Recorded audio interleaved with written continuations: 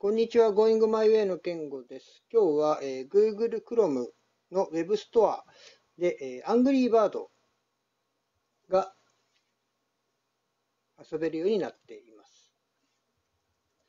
Angry Bird のページ、iPad や iPhone のゲームのアプリでやったことがある人も多いかと思いますが、PC のブラウザーから利用ができます。Chrome から利用ができます。この Angry Birds、これもインストールしてあるんですけども、インストールを押してみてください。そうすると、Google Chrome のページに Angry Bird のリンクが出てきます。これを押してやります。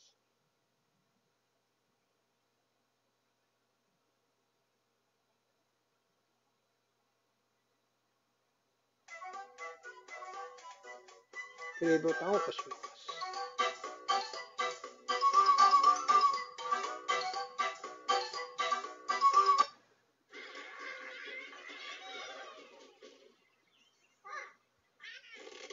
鳥を引っ張って離す。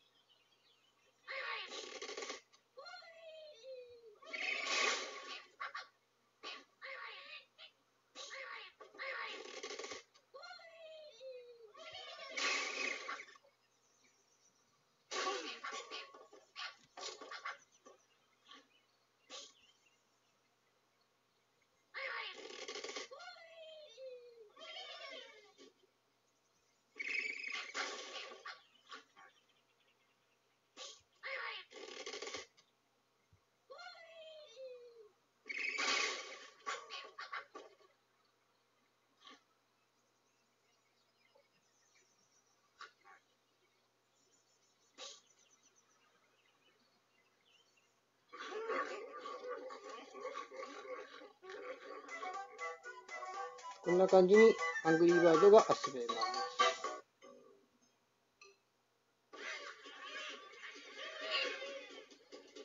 最初の方だとこんな感じですね。鳥をぶつけて豚を潰すような感じですね。無料です。